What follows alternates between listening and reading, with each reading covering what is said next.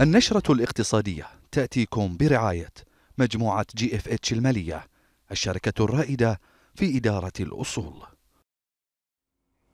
أعلنت بورصة البحرين انضمامها الاختياري إلى تحالف مقدمي الخدمات المالية لتحقيق الحياد الصفري. وتأتي هذه الخطوة الهامة لتؤكد التزام البورصة بتحقيق الاستدامة ودعم مهمتها الرامية إلى تعزيز المبادئ البيئية والاجتماعية والحوكمة في أسواق المال. وذلك بما يتماشى مع خطة العمل الوطنية بحرين بلو برنت والتي تستهدف تحقيق الحياد الصفري والتكيف مع تغيرات المناخ وخلق فرص الاستدامة في مجالات الطاقة المتجددة. ويعد هذا الالتزام جزءا لا يتجزأ من خطة عمل الاستدامة الشاملة لبورصة البحرين والتي تستهدف تطوير الممارسات البيئية والاجتماعية والحوكمة في قطاع أسواق المال. وتأتي في إطار العديد من المبادرات التي تتبناها بورصة البحرين وسعيها المستمر لتعزيز الاستدامة. أكدت السيدة مها مفيز الرئيس التنفيذي لصندوق العمل تمكين أهمية تسليط الضوء على المشاريع البحرينية الناشئة. الأمر الذي يسهم في ازدهار المنظومة الريادية وانتعاش القطاع الخاص بشكل عام.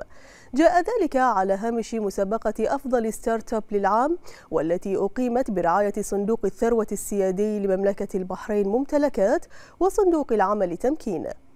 فكرة أن يشاركوا بمشاركة من الشركات الناشئة آه، يتم تدريبهم على آه، فن العرض آه، أمام المستثمرين ويطرحون فكرة أن هم يحصلون على مستثمرين يستثمرون في شركاتهم ويحصلون في النهاية بدعم من واسطة طبعا المبادرة آه، العام آه، خرجنا فيها تسعة كانوا في تسعة فائزين آه، في البرنامج واللي اليوم تنافسوا أربع منهم على أساس يحصلون على لقب Startup of the Year اللي تستثمر فيهم شركة ممتلكات.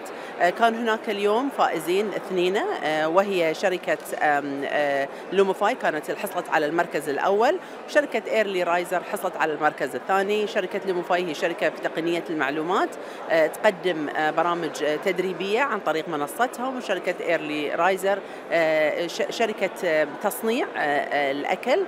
طبعا اتمنى لهم النجاح. إحنا بالنسبة لنا اليوم كل الشركات اللي شاركت الأربع نعتبرهم فائزين لكن قدموا عروض جدا ممتازة بأفكار جدا جميلة. نتمنى لهم إن شاء الله التوفيق. والآن نترككم مع أسعار صرف الدينار البحريني مقابل العملات الخليجية وأبرز العملات العالمية.